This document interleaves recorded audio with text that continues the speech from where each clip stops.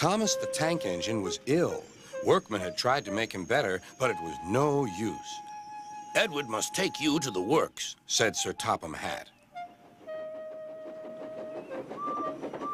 Thomas felt very miserable. Then Sir Topham Hatt spoke to Duck. I want you to help Percy and Toby while Thomas is away.